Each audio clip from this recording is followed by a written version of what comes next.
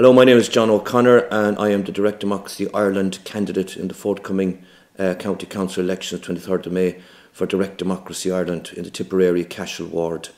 And I'm looking for your number one vote. I want to bring to your attention four local issues which I think could be national issues as well. I want to have the removal of paid uh, private clamping companies uh, from the, the Clonmel General Hospital. I don't think this is an immoral to have a private clamping company in a hospital where people are at their lowest.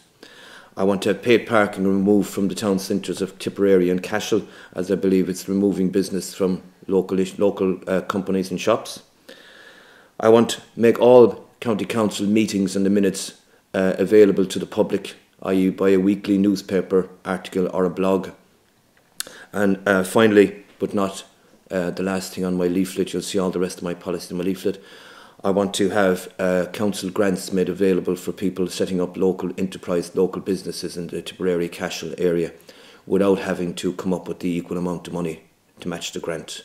My name is John O'Connor. I'm looking for your number one vote in May 23rd. Thank you.